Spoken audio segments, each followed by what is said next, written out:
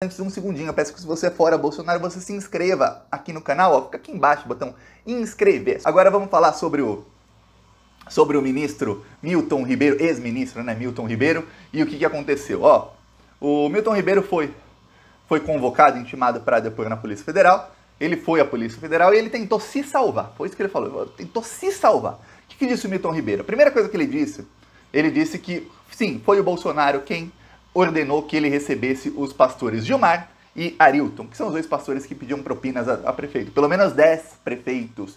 E já tinha saído na mídia que eram 13, mas 10 assim garantidos com falas, com aspas deles falando, confirmaram que os dois pediram propina. Então é, um, é o tipo de caso que você tem muitas testemunhas e muitas provas. Tá. Aí ele disse que foi o Bolsonaro. Ele tentou aliviar para o Bolsonaro quando ele viu que as perguntas estavam indo numa direção que, ia ficar ruim para o Bolsonaro. Por quê? Primeiro ele falou que foram os dois. Que foram os dois não, que foi o Bolsonaro que mandou ele receber os dois. Depois ele disse que ele não sabia dos pedidos de propina. Falou, não, não sabia, não sabia. Ele estava em todos os encontros, mas ele não sabia. Só ele não sabia. Um monte de prefeito recebendo pedido, pedido de propina, as verbas sendo todas, é, sendo, sendo todas enviadas para essas cidades, as bíblias superfaturadas sendo pagas com dinheiro do Ministério da Educação. Só isso aí já é um crime. Pagar Bíblia ainda mais superfaturada, com dinheiro do Ministério da Educação já é crime, viu? Já era para dar prisão para o ministro e para os outros envolvidos. Com a própria foto do ministro, quer dizer, o conceito da impessoalidade na gestão pública foi para o espaço, mandou um abraço para o ministro, que ele não seguiu jamais, com foto dos dois.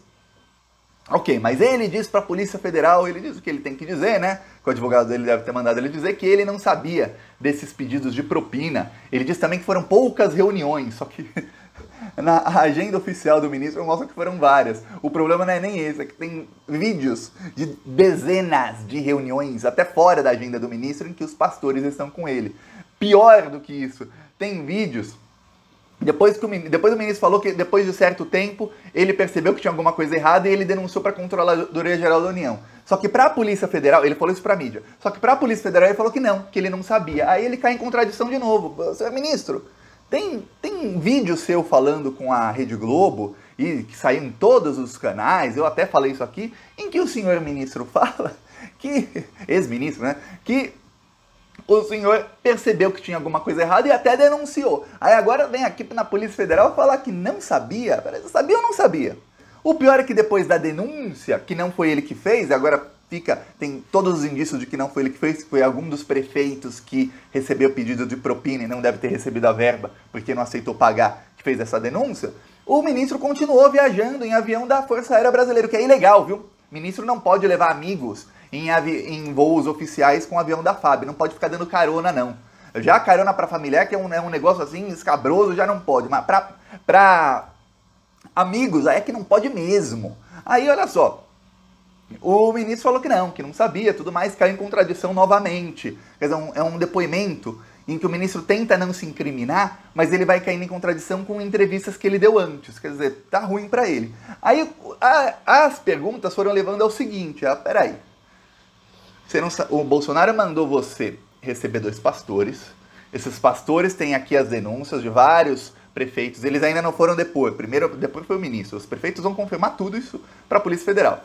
Tem várias denúncias de que esses é, pastores que não trabalhavam no MEC, não, nem trabalhavam, não tinham nem cargo oficial, eles iam nos eventos oficiais, sabe sei lá por quê, a pedido do Bolsonaro, agora confirmado pelo ministro na PF, e aí eles pediam propina. Você falou que tinha, que tinha denunciado que tinha coisa errada, mas agora falou que não sabia. Então você denunciou vozes da sua cabeça.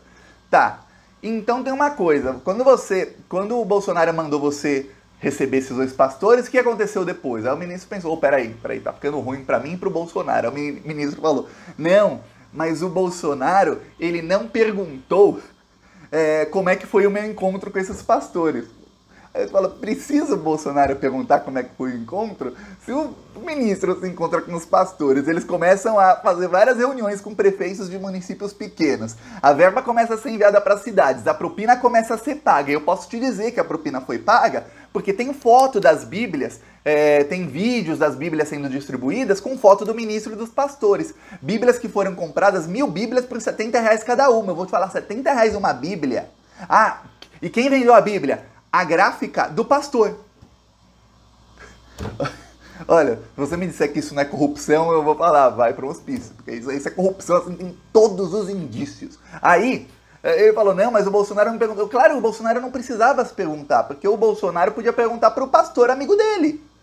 Se o Bolsonaro pede para um ministro, ó, oh, recebe fulano, obviamente o fulano vai dizer para o Bolsonaro depois ligar ou falar no WhatsApp e falar, olha, foi assim, assim, assado meu encontro com o ministro, deu certo, agora a gente vai tocar o esquema das propinas. É isso. Tocou o esquema das propinas, aí começaram a usar a verba do MEC, isso é coisa que a Procuradora-Geral da República e a Polícia Federal tem que investigar, usar a verba do Ministério da Educação e desviar essa verba para construir igreja evangélica em cidade minúscula. Igreja evangélica lá da, do Ministério Deus para Todos, que é o ministério lá da da igreja desses, desses dois pastores. Para quê? Aí eu vou te falar novamente, porque eu tenho certeza que a Polícia Federal sabe disso, porque eles não são ingênuos. Eu tenho certeza que ministros do STF que estão no TSE, quando vem isso, eles sabem disso, porque eles não nasceram ontem também. Mas eu tenho certeza também que 99% da população não sabe, porque a população nem tem obrigação de saber, mas a população acaba sendo ingênua nessas coisas. Essas igrejas são construídas para que dentro das igrejas o, o, Bolsonaro, os pastores ali, comprem votos em dinheiro vivo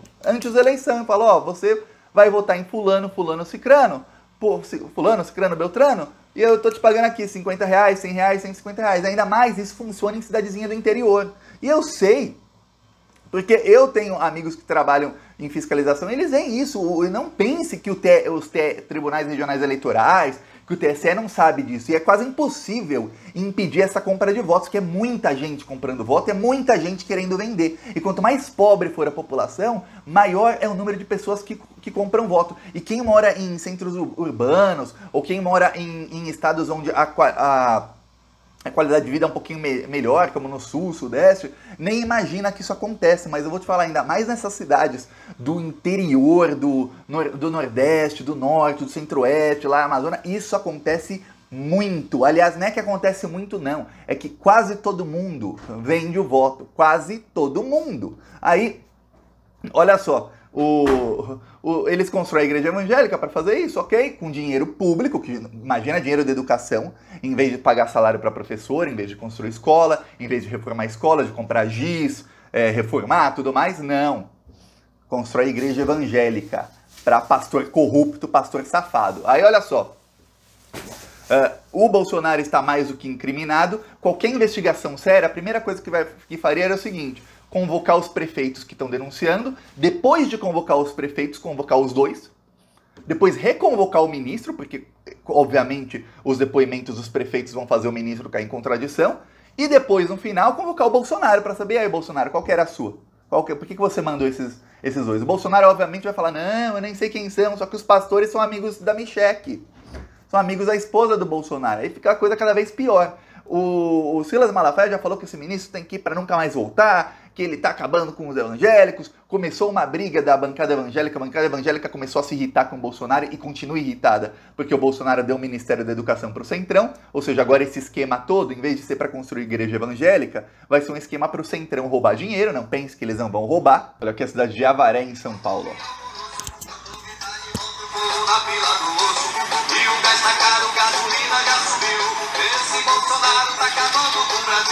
Ele é